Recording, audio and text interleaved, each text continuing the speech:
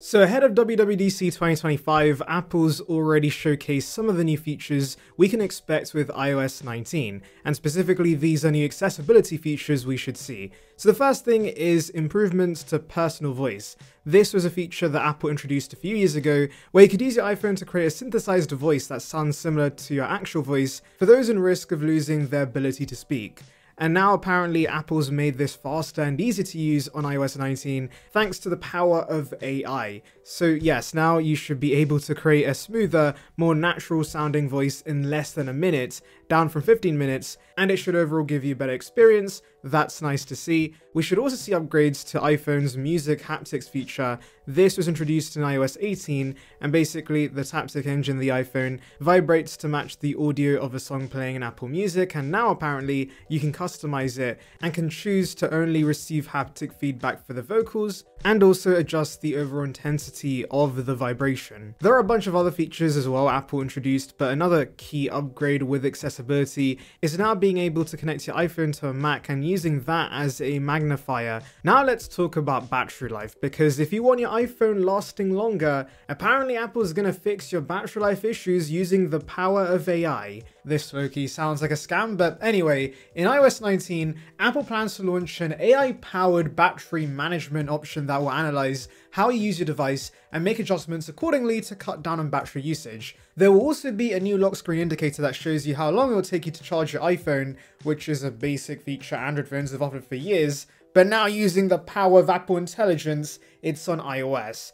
Wow, clearly you need the power of AI to do this. Anyway, this new AI battery management feature allegedly was designed with the iPhone 17 Air in mind, which we've heard may not have excellent battery life, and so let's see if AI can save this phone. Now what's interesting is that all devices running iOS 19 is getting this, not just the devices that run Apple Intelligence. I was expecting this to be an Apple Intelligence exclusive considering Apple's going to be using the Apple Intelligence branding, so it's going to be a bit confusing that some Apple Intelligence features are available on all devices, but others are only available on newer devices. But anyway, it's great that Apple's blessing everyone with better endurance. You know what you could bless me with though? Clicking that subscribe button, of course. It's free and would bring you the latest of Apple right subscription box, so please consider it. It would be appreciated. Join the SaranByte gang now. Gurman also in this new report does say Apple is pushing engineers to make this update more functional and less glitchy, which is good to hear considering in recent years iOS has become less stable, and I think more than new features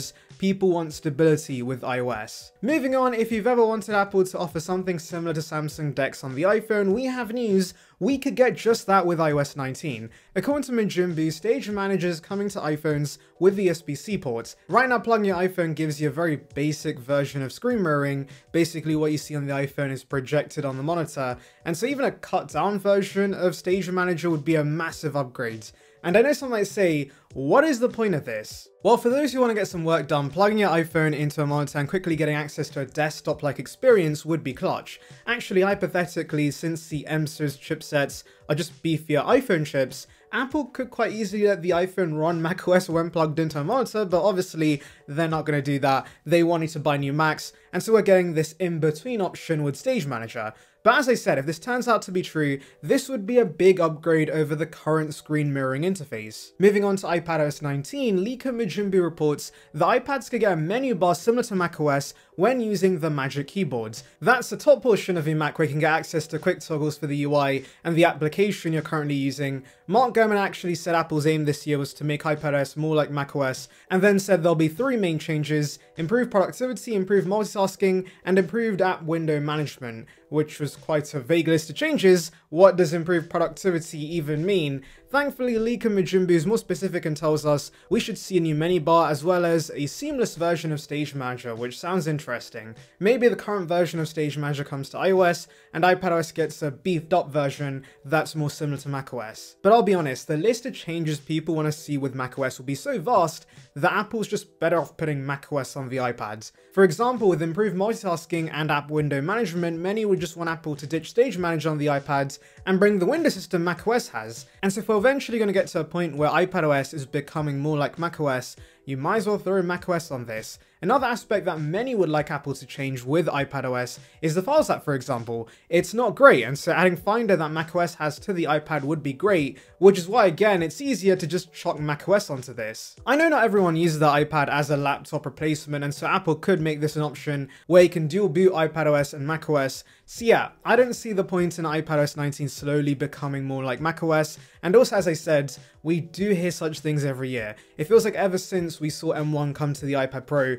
we've been waiting for Apple to do something with all this power, but they've been slow to give us any new software features. And so I would keep expectations low guys, iPadOS already is getting a design overhaul which I'll delve later into, and so I wouldn't be surprised if functionally it's not very different, but if Apple does want to bless us with a meaningful change, just give us macOS on the iPads. Now let's talk about the redesign coming to iOS 19 and by extension iPadOS 19 because we have new renders that show us the UI overhaul to expect. So earlier Prosser had showed us the redesigned camera UI, the new lock screen where the notifications are more translucent, and there's a more 3D floating look for the toggles, settings and pop-ups with a more glassy aesthetic imitating Vision OS, and a redesigned keyboard where it almost creates this illusion of it floating, but I'll be honest, I was expecting a bit more, and thankfully Jon Prosser shares more renders that show us more drastic visual changes. And namely, we see circular icons in these new renders, which have been taken directly from Vision OS. Jon Prosser actually first told us in the build he saw he couldn't see evidence of rounder icons, However, it seems Apple's hiding this element because in current builds, if you long press on a squircle icon, it then becomes rounder after a brief animation. Maybe Apple's hiding new icons in builds to prevent leaks, but clearly that plan has failed because it has leaked and so Tim's gonna be very angry, but I like the look of this. Yes, it's just differently shaped icons and doesn't functionally add anything whatsoever, but I'm always down for visual changes that are executed well, and this looks clean in my opinion. Apple could of course give consumers a choice, and similar to Android devices, it would be nice if you could switch between squircle and circular icons, but this is Apple we're talking about, they want design consistency, and so I'm expecting everyone to be forced to use these new icons, whether you like it or not. But personally, I'm not against that because these new icons are very cool. Another UI change to expect is a pill-shaped tab bar at the bottom of many of Apple's first-party applications.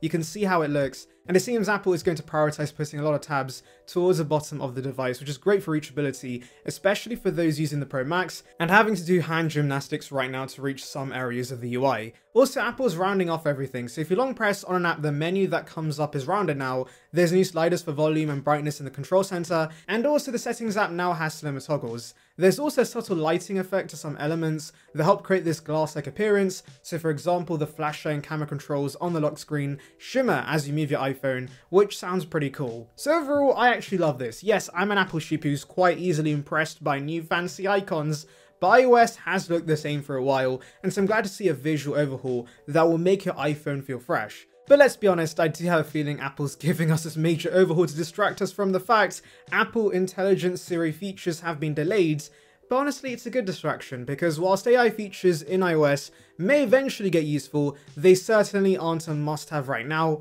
whereas design changes to the UI is something you would appreciate every single day. Let's now move on to devices which will run iOS 19 and iPadOS 19 this year, and unfortunately, there is bad news. So because iOS 19 is going to be such a substantial update, Apple does apparently plan to drop the iPhone XS 10s Max, and 10R according to a credible anonymous source. These devices were released back in 2018 and so they've had roughly 6 years of support, and so I'm not too surprised by this news. The 10R especially only has 3 gigs of RAM, so for those still using those devices, just be aware your device may lose support soon. Now obviously that does not make them instantly unusable, Apple still does release security updates for devices on older iOS versions, and so you could theoretically keep using these phones for a little longer, but eventually apps will stop supporting iOS 18, and you're going to be missing out on newer iOS features you would want to try out. Now moving on to iPadOS 19, Apple plans to only drop the iPad 7th generation which has the A10 Fusion from 2016. That's a crazy old chipset so that makes sense. But what's funny is that the iPad 8 generation, which has the A12 that Apple's dropping from the iPhone range, is still going to be supported. This has already happened in the past because the iPhone 7, which had the A10, did not get iPadOS 16, but the iPad 7 with the same chipset got iPadOS 16, 17, and 18. So it seems Apple's happy supporting these iPads for longer because they did launch a couple of years after these iPhones. Does that mean theoretically the iPhone 10 and 10s could run iOS 19? Maybe, but the iPad 7th generation was very sluggish on iPadOS 18, and so there's a possibility the iPad 8 generation is going to suffer on iPadOS 19. We will have to wait and see. Anyway, let me know your thoughts in the comments, make sure to like and subscribe for more content like this, and thank you for watching.